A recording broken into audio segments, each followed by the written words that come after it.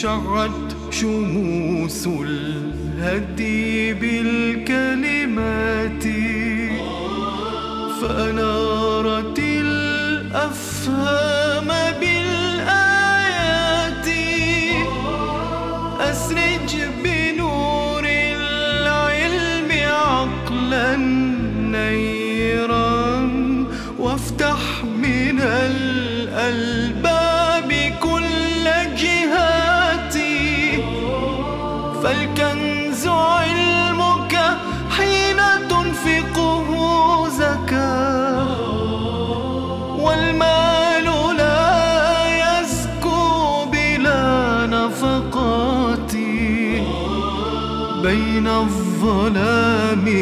وبين نور مشرق. هدي ينير الدرب بالومضات. بسم الله الرحمن الرحيم. الحمد لله رب العالمين. والصلاة والسلام على محمد وآله الطيبين الطاهرين.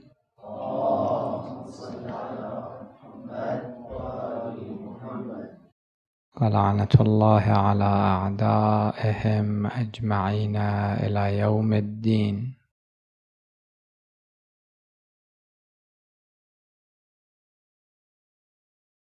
حديثنا في هذه الليلة يدور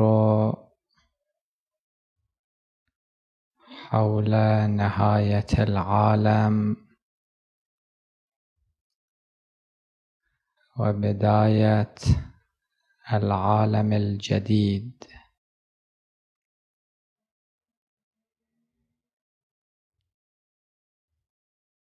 القرآن الكريم.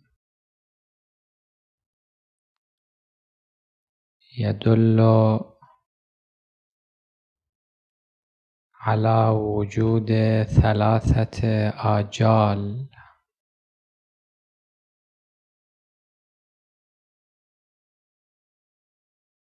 الأجل الأول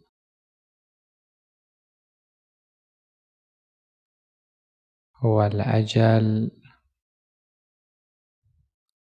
الذي يتعلق بالأفراد.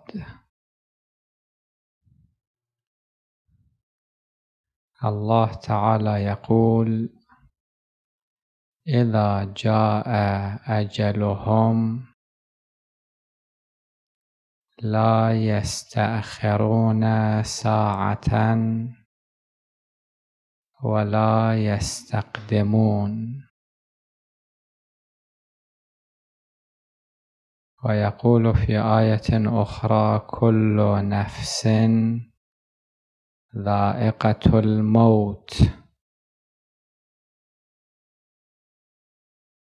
هذا الأجل الأول. تؤكده الواقعية الخارجية. لأننا نشاهد في كل يوم موت الأفراد.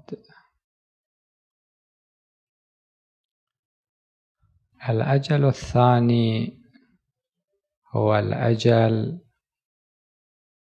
الذي يتعلق بالأمم. الله تعالى يقول ولكل أمة أجل. وهذا النوع الثاني يؤكده علماء الحضارات وعلماء التاريخ. ويشبهون الأمة بالفرد الفرد له ولادة وطفولة وشباب وكهولة وشيخوخة وموت. الحضارات أيضا والأمم أيضا لها ولادة في البداية وموت في النهاية.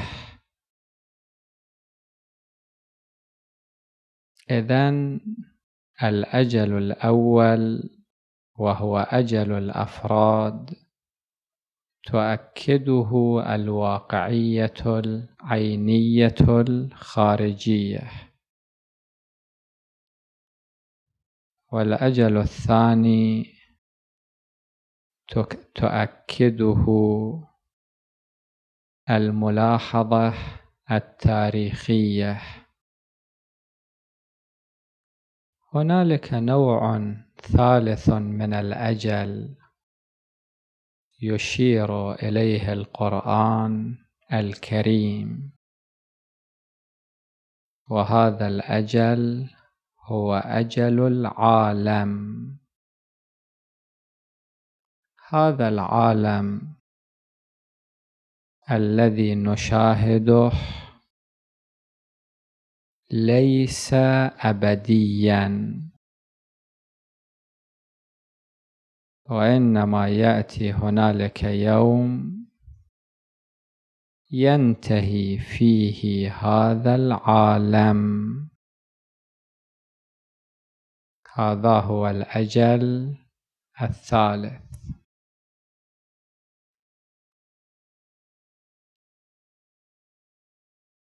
هذا الأجل إخبار عن حقيقة غيبية. لا تقع تحت الملاحظة والتجربة. الآيات القرآنية أكدت هذه الحقيقة. والروايات الشريفة أكدت. هذه الحقيقة. ولكن كان هنالك تشكيك. هذا التشكيك لم يصدر عن أفراد عاديين. ولكن صدر عن مجموعة من كبار المفكرين عموما من الجيد أن نشير إلى نقطة وهذه النقطة أحيانا الفرد ينطلق من الدين في رؤيته للحياة. ورؤيته للأحداث. وأحيانا ينطلق من ذاته. ويحاول أن يؤول النصوص الدينية وفق ما تمليه عليه تصوراته الناقصة. والقاصرة. هذا المنحى الثاني بشكل عام الانطلاق من الذات. منحى خطير. والمفروض بالمؤمن أن ينطلق من الدين في رؤيته للكون والحياة. أما إذا انطلق من ذاته فربما يؤول جميع النصوص الدينية وفق تصوراته. نحن باعتبارنا مؤمنين. ينبغي علينا أن نلاحظ ماذا قال الله. وماذا قال النبي صلى الله عليه وآله؟ وماذا قال أهل البيت صلوات الله عليهم أجمعين؟ ونطوع أفكارنا لما قالوه. لا أنه نتخذ تصورات معينة مسبقة. ثم بعد ذلك نحاول تطويع النصوص الدينية لهذه التصورات الظنية والاستحسانية.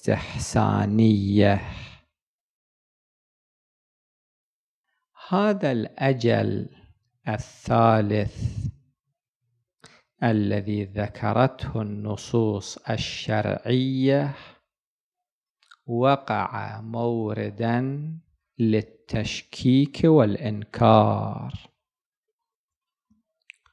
هنالك بعض المفكرين الكبار يعتقدون وفق تصورات معينة أن هذا العالم لا يمكن أن يكون إلا ابديا.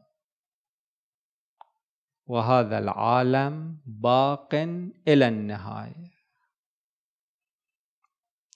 وهنالك مجموعة من المفكرين الكبار يعتقدون أن هذه الأجرام العلوية يعني الشمس والقمر والكواكب والسماوات هذه اشياء لا تنطبق عليها معادلات الكون والفساد. الكرة الأرضية التي نعيش عليها يطلقون عليها عالم الكون والفساد.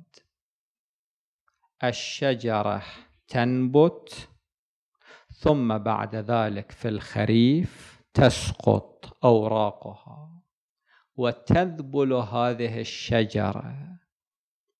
هذا عالم الكون والفساد. نحن البشر ننمو ثم بعد ذلك نسير نحو الانحدار. ونعود إلى التراب. كما خلقنا من التراب لأن هذا العالم عالم الكون والفساد. ولكن العالم العلوي هذا العالم لا يمكن أن يتطرق إليه أي نوع من الفساد. بل لهم نظرية يطلق عليها نظرية الخرق والالتيام أن هذه الأفلاك وفق تصوراتهم لا يمكن اختراقها. ولكن القرآن الكريم الروايات الشريفة تدل على أن هذا العالم ككل. هذا العالم لا بقاء له وسوف يأتي اليوم الذي ينتهي فيه. مثلا لاحظوا هذه الآية الكريمة التي تدل على هذا الأجل الثالث. الله سبحانه وتعالى يقول في سورة الروم الآية الثامنة ما خلق الله السماوات والأرض وما بينهما إلا بالحق وأجل مسمى. للأفراد هنالك أجل. وللأمم هنالك أجل. وللسماوات والأرض وما بينهما هنالك أجل أيضا. الآية الأخرى في سورة الرعد. الله سبحانه وتعالى يقول وسخر الشمس والقمر كل يجري لأجل مسمى فهنالك أجل محدد تنتهي فيها هذه الحركة. في آية أخرى الله سبحانه وتعالى يقول هو الأول والآخر فهنالك ظرف ينتهي فيه كل شيء. ولا يبقى هنالك إلا الله سبحانه وتعالى. وفي ذلك اليوم كما في الروايات يقول الله تعالى لمن الملك اليوم. فلا يبقى هنالك من يجيب. فيقول الله تعالى لله الواحد القهار. لأنه لا يوجد هنالك من يجيب على هذا السؤال. الله سبحانه وتعالى في آية أخرى يقول كل شيء هالك. الهلاك كما يبدو بمعنى الفناء وبمعنى البطلان. إلا وجهه يعني ذاته سبحانه وتعالى. وهنالك أيضا روايات مروية عن أهل البيت صلوات الله وسلامه عليهم في هذا المجال. نذكر منها بعض الروايات. الرواية الأولى عن هشام ابن الحكم. سئل الإمام الصادق صلوات الله عليه أيتلاشى الروح بعد خروجه عن قالبه؟ أم هو باق بعد الموت الروح باقية أو تنتهي. فقال الإمام صلوات الله عليه بل هو باق إلى وقت ينفخ في الصور. عندما إسرافيل ينفخ في صوره النفخة الأولى لأن هنالك نفختين. عندما تنفخ النفخة الأولى التي هي نفخة الموت فعند ذلك تبطل الأشياء وتفنى.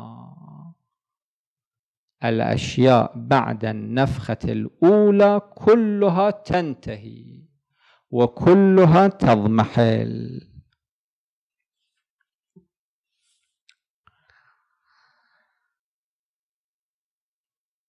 في دعاء الصحيفة السجادية الإمام السجاد صلوات الله وسلامه عليه يقول في ضمن دعاء له هو الأول قبل الإنشاء والإحياء والباقي بعد فناء الأشياء.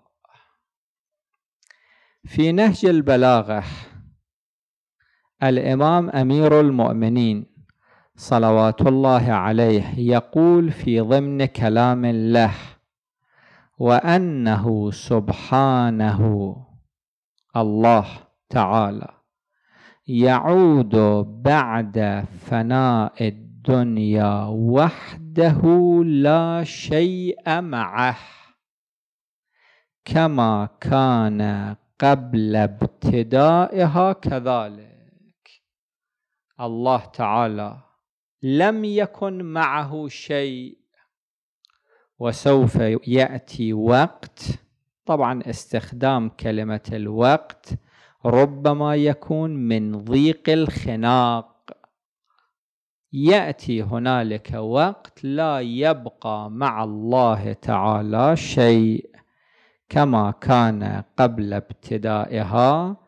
كذلك عدمت عند ذلك الآجال والأوقات وزالت السنون والساعات فلا شيء إلا الواحد القهار.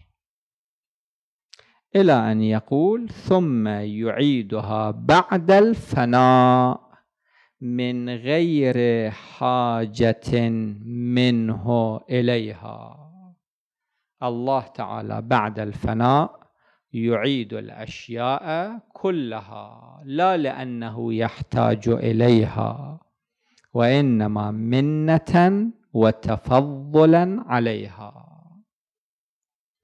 هذه الحقيقة التي نطقت بها الآيات والروايات العلوم الحديثة توصلت إلى جانب منها. لأن قلنا إن هذا الأجل الثالث هو غيب ولا يقع تحت التجربة. والملاحظة. ولكن العلوم الطبيعية أثبتت جانب من هذه الحقيقة. الآن إحدى الحقائق المسلمة في العلم أن هذه الطاقة الموجودة في الكون سوف تفنى في يوم من الأيام. القانون الثاني من قوانين الديناميكا الحرارية. يقول هذا القانون إن الطاقة سوف تنعدم في يوم من الأيام. وإن هذه الطاقة الموجودة في الكون لا يمكن أن تظل إلى النهاية.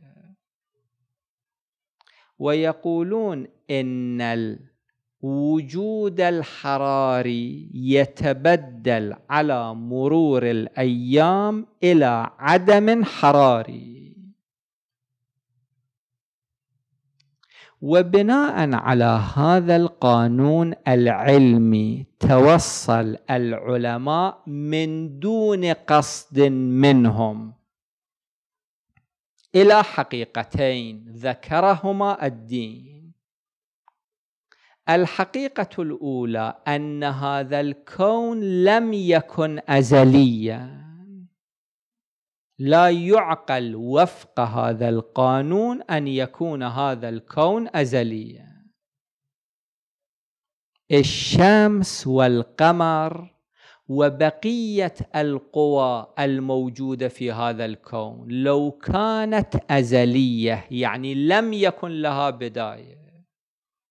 هذه الشمس حرارتها انتهت منذ أمد بعيد.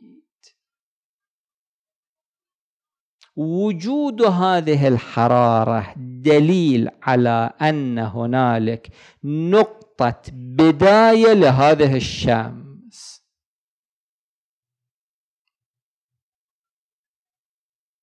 هذه الحقيقة الأولى التي توصل إليها العلم وأثبتها بدون قصد منه العلماء في نظرياتهم الأخيرة يقدرون أن عمر هذه الشمس التي نراها حوالي أربعة مليارات عام وشيء. فلا يعقل أن تكون هذه الطبيعة طبيعة أزلية. الحقيقة الثانية هي الحقيقة التي أشار إليها الدين أيضا أن هذه الطاقة لا تبقى إلى النهاية. العلماء أيضا يقدرون الطاقة الموجودة في هذه الشمس بحوالي سبع مليارات أعوام. بعد هذه المدة هذه الطاقة تنتهي. والشمس تعود وتنحدر إلى مرحلة الصفر المطلق. هذه الحقيقة التي أشار إليها القرآن الكريم بقوله تعالى إذا الشمس كورت. التكوير شنو معناته؟ التكوير شيء منبسط. تلفونه لفا. مثل العمامة المنبسطة إذا لففتموها. هذه الشمس لها انبساط في هذا الكون بنورها. ولكن سوف يأتي يوم هذا الانبساط يسلب من هذا الجرم. والشمس تعود لا نور لها. إذا الشمس كورت وإذا النجوم كدرت. هذا الضوء هذا النور الذي نجده في النجوم سوف ينعدم في يوم من الأيام. هذه كلمة مختصرة حول نهاية هذا العالم. ننتقل إلى الموضوع الثاني وهو بداية العالم الجديد والمعادلات التي تحكم هذا العالم الجديد. بعد هذه المرحلة مرحلة الفناء ومرحلة الانعدام ولا نعلم كم تطول هذه الفترة. تبدأ الحياة الجديدة وهي حياة القيامة. إسرافيل ينفخ نفخة أخرى في صوره ثم نفخ فيه أخرى فإذا هم قيام ينظرون. هذه هي النفخة الثانية. هنالك رواية مروية عن الإمام الرضا صلوات الله عليه. هذه الرواية تدل على أن هنالك معادلات أخرى تحكم هذا العالم الجديد. الإمام الرضا صلوات الله عليه كما في تفسير البرهان يقول في حديث إن أوحش ما يكون الخلق في ثلاثة مواطن. يوم يولد ويخرج من بطن أمه فيرى الدنيا. هذا الموطن الأول. ويوم يموت فيعاين الآخرة وأهلها. الشاهد في هذا المقطع ويوم يبعث حيا فيرى احكاما لم يرها في دار الدنيا. هنالك معادلات جديدة تحكم ذلك العالم العالم الجديد. نحن نشير إلى بعض هذه المعادلات التي تحكم هذا العالم الجديد.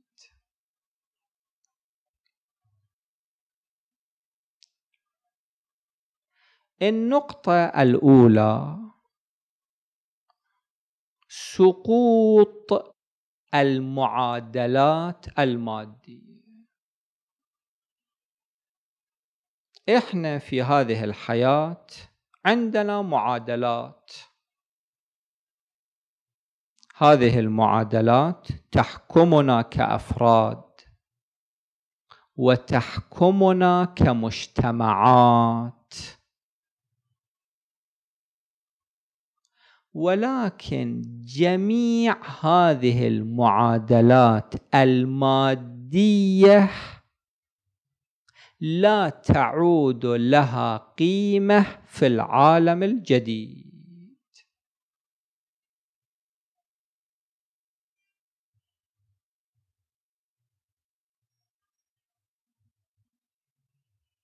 الذهب له قيمة في هذا العالم.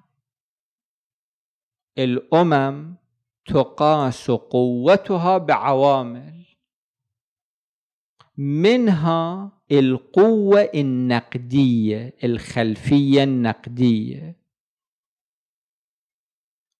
الأفراد الأثرياء ينظر إليهم بإكبار وتعظيم في المجتمع.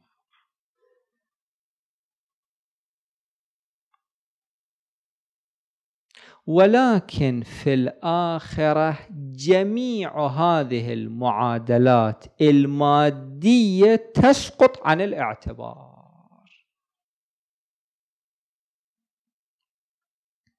هناك الثروة ما إلها قيمة. الذهب ما إلى قيمة. الله تعالى يقول وأخرجت الأرض أثقالها. الذهب الفضة المعادن المودعة في الأرض والتي يتقاتل عليها الأفراد هناك مخرج. ولكن لا يلتفت أحد إليها لانها لأنها في هذا اليوم لا توجد لها قيمة. المعادلات تبدلت. لعله مثلنا في مرة من المرات نظام قائم أعطى القيمة لعملة معينة ورق معين قيمة اعتبارية. النظام الجديد يأتي ويسقط جميع هذه الأوراق النقدية عن الاعتبار. في ظل النظام القديم يمكن أن تشتري بتلك الأوراق بيت. ولكن في ظل النظام الجديد هذه الأوراق لا توجد لها أي قيمة. هناك في الآخرة المال ما له قيمة. الشخصية الاجتماعية التي نركض وراءها هذه الاعتبارات الوهمية. ما إلها أي قيمة. الارتباطات الاجتماعية ما إلها قيمة. الأنساب التي هي مهمة عند أهل هذه الدنيا هذا ابن فلان وهذا من العائلة الفلانية. بالذات في بعض المجتمعات في بعض الأعراف. هناك بعد ما إلها أي قيمة. القيمة الوحيدة هنالك للإيمان والعمل الصالح. الله تعالى يقول إذا وقعت الواقعة ليس لوقعتها كاذبة خافضة رافعة بعض الأفراد كان في هذه الدنيا لهم مقام وإذا بهم ينخفضون. وبعض الأفراد ما لهم أي اعتبار في هذه الدنيا يمكن يكون خادم في بيت. وإذا به في الآخرة له مقام لا يمكن أن نتخيله العم حفظه الله كان ينقل عن الجد رحمه الله. يقول في يوم من الأيام كنت أمشي معه فجاء رجل جدا متواضع ولعله عليه ثياب رسة بالية. يعني من الناحية الاجتماعية أي قيمة مائلة. فجاء هذا الرجل وقبل يد الجد.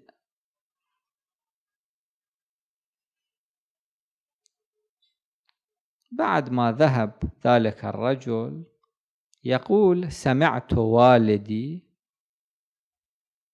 يتمتم بكلمات ويا نفسه. فرأيته يقول لنفسه أعوذ بالله أن يأتي يوم أتواضع فيه لمن كان يتواضع لي في هذه الدنيا. يعني يمكن واحد يكون عنده خادم في بيته. وهذا الخادم يتواضع له يخدمه في هذه الدنيا. ولكن في الآخرة إذا يتبين أن هذا الخادم ولي من أولياء الله هذا المخدوم يمكن في الآخرة يضطر إلى أن يتواضع لهذا الخادم. يضطر إلى أن يركض وراءه ويطلب شفاعته في يوم القيامة.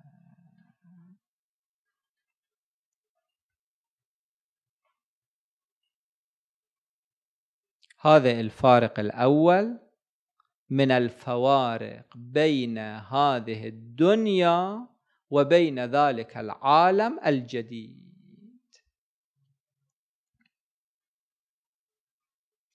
الفارق الثاني كثير من الأشياء في هذه الدنيا لها صفة العمومية. كثير من الأشياء. سواء كانت خيرا أو كانت شرا. إذا أنتوا أشعلتوا مصباح كهربائي هذا النور لا يكون لكم فقط. الآخرون يستفيدون من هذا النور. إذا واحد أشعل نارا ربما لا يحترق هو بهذه النار فقط وإنما يحرق الآخرين أيضا. ولكن في الآخرة الأشياء تتصف بصفة الخصوصية.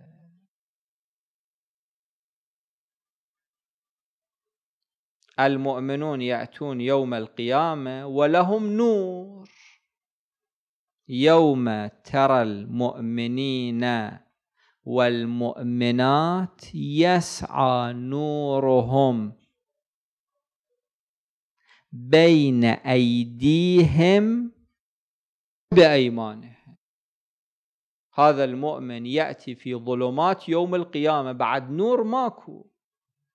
الشمس تكور نورها ينتهي.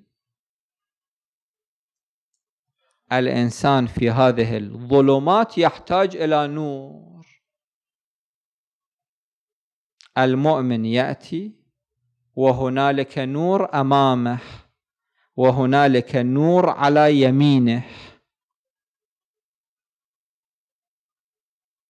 بعض العلماء يحتملون أن الذين يكون النور أمامهم هم المقربون. والذين يكون النور بأيمانهم أصحاب اليمين. بهذا النور يشقون طريقهم. يوم ترى المؤمنين والمؤمنات يسعى يعني يتحرك نورهم بين أيديهم وبأيمانهم. يشقون طريقهم بهذا النور.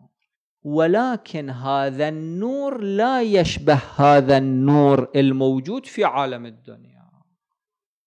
نور خاص لا يشترك فيه أحد. ولذلك الله تعالى يقول يوم يقول المنافقون والمنافقات للذين آمنوا كأن المؤمنين والمنافقين يحشرون في مكان واحد. في البداية. هكذا يبدو من الآية الكريمة. الكفار يحشرون في مكان مستقل. ولكن المنافقون كانوا مع المؤمنين في هذه الدنيا. كانوا يحضرون مساجدهم يصلون معهم. عبد الله بن أبي كان يصلي مع النبي صلى الله عليه وآله ويحضر مع المؤمنين. كما كان مع المؤمنين في هذه الدنيا يحشر معهم في الآخرة أيضا في البداية طبعا. يوم يقول المنافقون والمنافقات للذين آمنوا انظرونا نقتبس من نوركم. حتى نشوف طريقنا.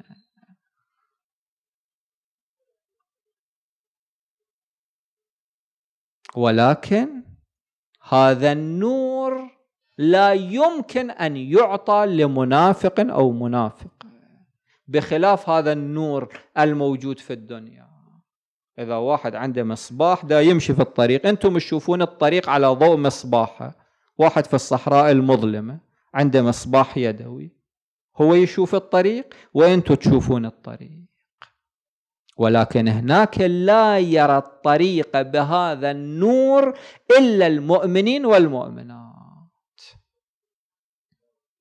قيل ارجعوا وراءكم فالتمسوا نورا. هنا مو مكان تحصيل النور. مكان تحصيل النور وين؟ في هذه الدنيا. صلاة الليل نور للمؤمن تكون نورا له في الآخرة. لكن وقت تحصيل هذا النور في هذه الدنيا هناك بعد ما يمكن تحصيل قيل ارجعوا وراءكم فالتمسوا نورا فضرب بينهم بسور. ويحدث هنالك الفاصل بين المؤمنين والمنافقين. وهنالك آية أخرى نذكرها بالمناسبة أيضا من أنه هذه الدنيا هي مكان البذر. الآخرة مو مكان البذر. الله تعالى يقول يوم يكشف عن ساق ويدعون إلى السجود. يقال للكفار أسجدوا. ولكن مكان السجود وين؟ في هذه الدنيا. يوم يكشف عن ساق ويدعون إلى السجود فلا يستطيعون. ما يتمكن يظهر من بعض الأحاديث أن فقار ظهرهم تتصلب تصلب هنا مكان السجود مو هناك مكان السجود. ويدعون إلى السجود فلا يستطيعون. وفي مقطع آخر الله تعالى يقول وقد كانوا يدعون إلى السجود وهم سالمون. عندما كانوا في الدنيا كان يقال لهم اسجدوا وكانوا قادرين فلم يسجدوا. هنا بعد مو مكان السجود في الآخرة. نمثل لكم بمثال لتقريب الفكرة مثال عابر. وهذا المثال كيف أن النور يكون خاصا؟ هنالك طالبان بدأ معا. أحدهما طالب مجد والآخر طالب مهمل. الطالب المجد سهر الليالي وتعب وتعب إلى أن وصل إلى نهاية الجامعة.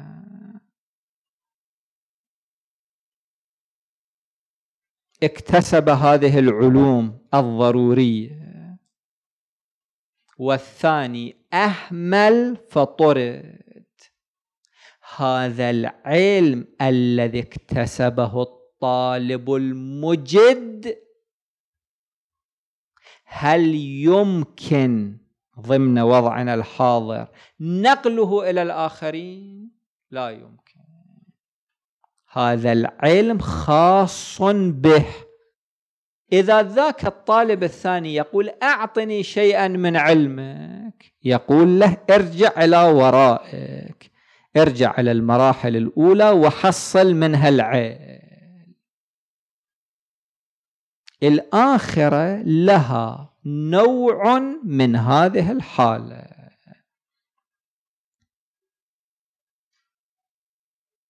هذا هو الفارق الثاني.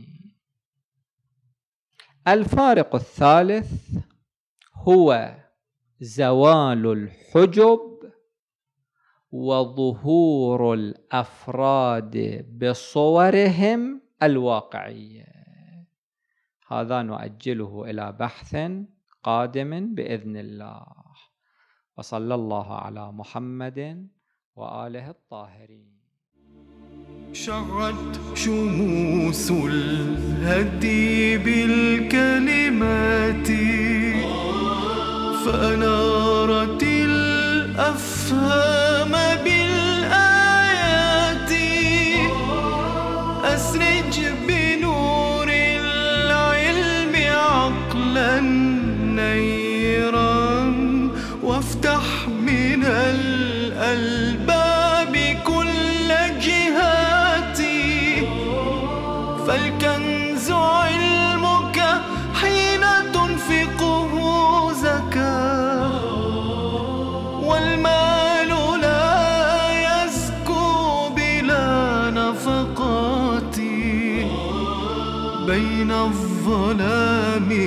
وبين نور مشرق.